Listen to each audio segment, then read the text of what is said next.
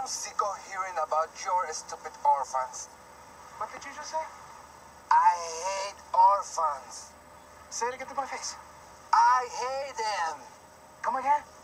I hate all the orphans in the whole world. Orphans, listen to me. Listen to Ignacio. I know it is fun to wrestle. A nice pile drive to the face. Or a punch to the face. But you cannot do it. Because it is in the Bible not to wrestle your neighbor. Beneath the clothes, we find a man. And beneath the man, we find his nucleus.